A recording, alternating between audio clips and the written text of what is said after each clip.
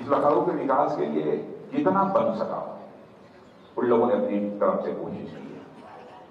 मुझे याद है, जब मैं आदरणीय अटल बिहारी वाजपेयी जी के मंत्रिमंडल में सरफेस ट्रांसपोर्ट मिनिस्टर, यानी रोड्स, वाटरवेज और शिपिंग, यह मिनिस्ट्री हमारे पास थी।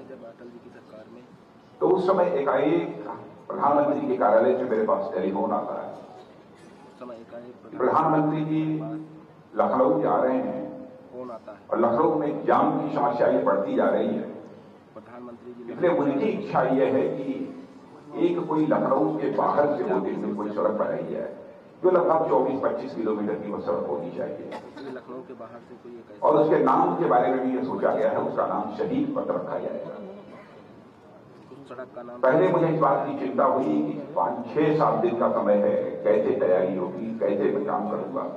लेकिन चटपट पाँच छह दिनों के अंदर काम करके श्रद्धेय अटल बिहारी वाजपेयी जी को उसी समय मैंने सूचित किया कि अब शिलान्यास किया जा सकता है। और उनके साथ मुझे भी शिलान्यास से इस कार्यक्रम के दौरान उपस्थित रहने का अवसर प्राप्त हुआ। पहले लोग यह कहते थे कि यह शहीद पत्र इतना बाहर बना हुआ है लखनऊ के रहने वाले लोगों के लिए इसकी उपयोगिता क्या है। लेकिन आप सब स्वयं महसूस कर रहे होंगे, लखनऊ की जनता महसूस कर रही होगी। कि हमारे श्रद्धेय अटल बिहारी वाजपेयी जी की कितनी दूर दृष्टि थी। जान की समस्या निरंतर भविष्य आज बहुत सारी योजनाओं का लोकार्पण भी हुआ है।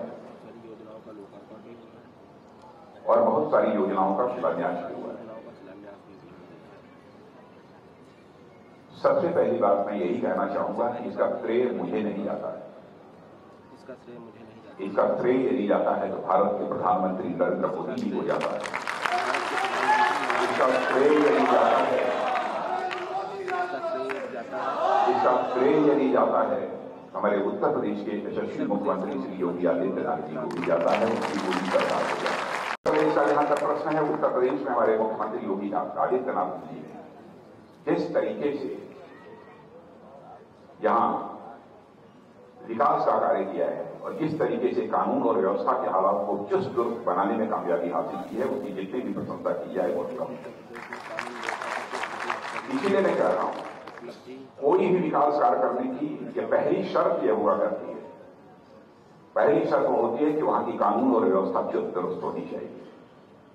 और आज उत्तर प्रदेश नहीं सारा देश इस सच्चाई को स्वीकार करता है कि सबसे बेहतर कानून और व्यवस्था भी किसी राज्य की है तो आपके उत्तर प्रदेश राज्य की है। यहाँ के मुख्यमंत्री जी और उनकी पूरी सरकार को मैं अपनी तरफ़ से हार्दिक बधाई देता हूँ। अद्भुत कार्य हुआ है।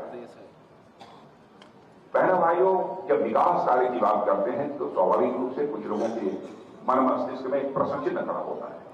जब विकास कार्य होते हैं तो भ्रष्टाचार भी कुछ होता है। क्या बीती बातें ये हो भ्रष्टाचार भी होता है। आप सभी जानते हैं कि भ्रष्टाचार भाषण देकर समाप्त नहीं किया जा सकता। भ्रष्टाचार यदि समाप्त करना है तो सिस्टम में बदलाव लाना पड़ेगा। और हमारे प्रधानमंत्री ने करिश्माई काम किया है मेरे बहनों भाई। सिस्टम में कैसे बदलाव लाया है उन्होंने। पहले मैं यहाँ पर राजीव गांधी जी की चर्चा करना चाहूँगा। हमारे वो पूर्व प्रधानमंत्री रहे। मैं किसी प्रधानमंत्री की कभी आलोचना नहीं की है, उनकी भी मैं आलोचना नहीं करना चाहता। लेकिन उन्होंने एक समय चिंता यह व्यक्त की थी और यह कहा था क्या करें? मैं सौ पैसा दिल्ली से भेजता हूँ लेकिन नीचे पहुँचते पहुँचते लोगों की जेबों में भाव उसके पंद्रह पैसा पहुँच पाता है और पचासी पैसा ये भ्रष्टाचार की भेंट चल जाता है। आप सभी सच्चाई को स्वीकार करेंगे कि भ्रष्टाचार पर भी काबू पाना है। भाषण देकर भ्रष्टाचार पर काबू नहीं पाया जा सकता। हम भ्रष्टाचार पर ही काबू पाना है तो सिस्टम में हमको बदलाव लाना है। और आपने आप लोगों ने समाचार पत्रों में पढ़ा होगा five G five G spectrum कंपनियों को आवंटित किए जा चुके हैं। हमारी यह कोशिश होगी कि लखनऊ में जल्दी फाइव जी यह स्पेक्ट्रम भी जल्दी से जल्दी रोल आउट कर जाए, यह हमारी तरफ़ से कोशिश होगी। और इस दृष्टि से भी मैं इस समय मैं काम कर रहा हूँ।